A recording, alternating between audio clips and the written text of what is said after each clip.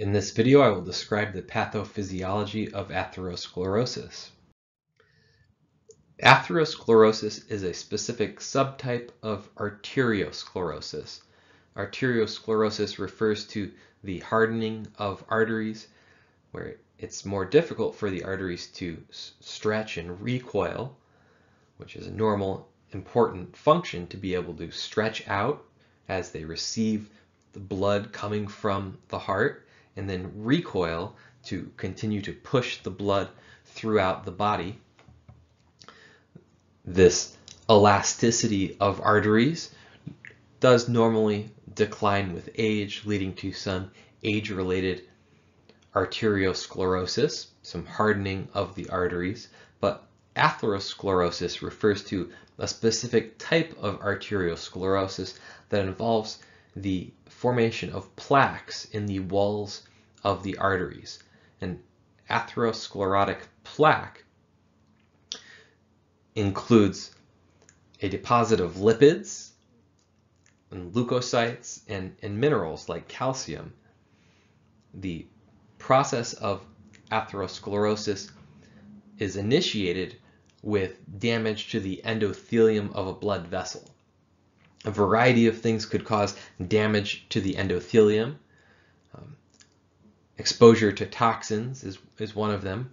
For example, we've learned that smoking tobacco increases the risk of atherosclerosis as the toxic chemicals from the inhaled smoke can damage the endothelium, initiating this process of atherosclerotic plaque formation.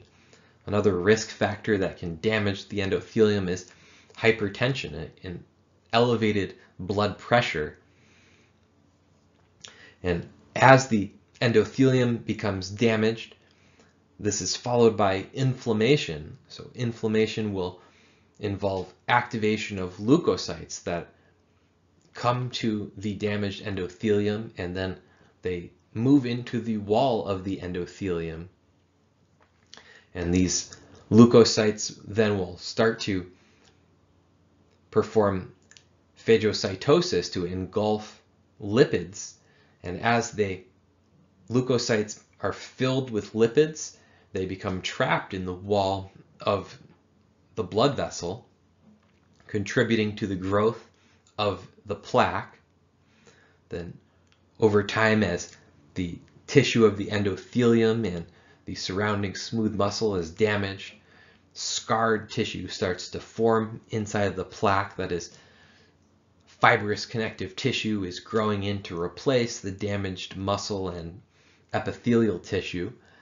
And um, further lipids and leukocytes accumulate inside of the plaque as the plaque continues to grow and the, the plaque can also become mineralized and hardened one of the minerals that's often found in atherosclerotic plaques at high concentration is, is calcium. So calcium can deposit within the plaque, making the wall of the artery more stiff and rigid and hard.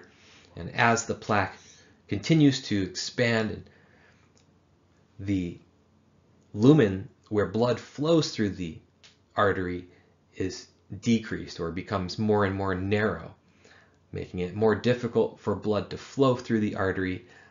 Um, and so just having a narrowed artery as a result of atherosclerosis could contribute to increased blood pressure, making it more difficult for blood to flow through the blood vessels, requiring a greater pressure to enable sufficient blood flow. And this can also lead to an increased risk of blood clotting, producing a, a thrombus or an, an, embolism where a blood clot forms inside of a blood vessel and then it can, can break off and enter the circulation. So a thrombus forms inside of the blood vessel as a blood clot that starts to form and then as it breaks off and travels it's known as an embolus. Similarly, parts of the plaque could break off and travel as an embolus through the blood that then could get trapped in a smaller blood vessel forming an embolism that disrupts blood flow to an organ. If this occurs in a blood vessel carrying blood into the brain, it could cause a stroke.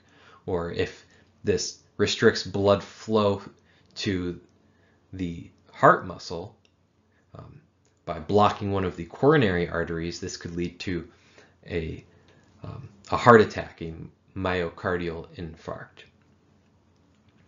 And so the risk factors for atherosclerosis include hypertension, high blood pressure, hyperglycemia, high blood glucose, infections, um, tobacco use, high blood lipid levels, especially cholesterol, but specifically it, it is LDL cholesterol, a specific subtype of the blood cholesterol known as low density lipoprotein cholesterol.